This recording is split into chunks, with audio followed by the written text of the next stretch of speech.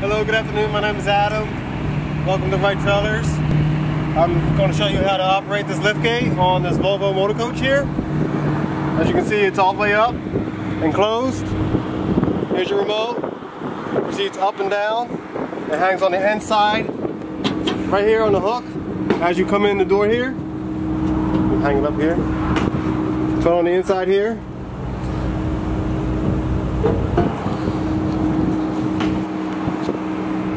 As you can see, we have a safety pin here on the bottom. It's a cotter pin. You have a smaller one up here. Same for the driver's side. You got a lower one on the back and another one on the top. To remove them, press up to relieve the tension on the bottom one. Goes up. Take the safety pin out, like so. Then you remove this pin. You gotta wiggle it just like so. Then we go to the other side and do the same thing.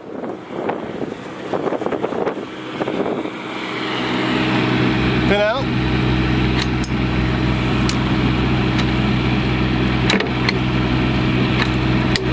Pin out, okay?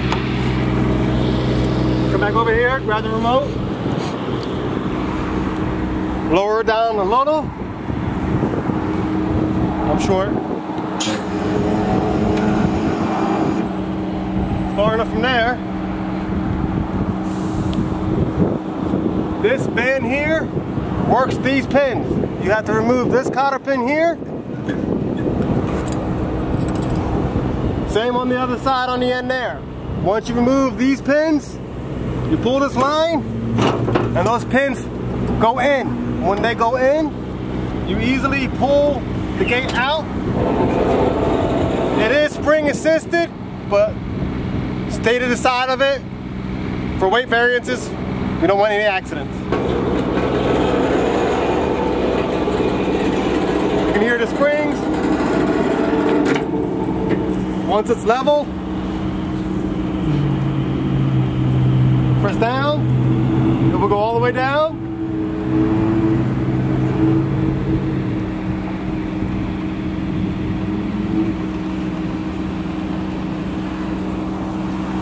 Flip this over.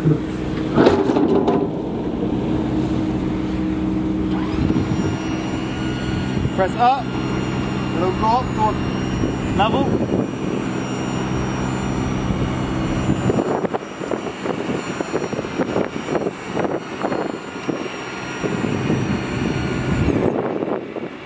That's how you properly use the lift gate on the Volvo motor coach.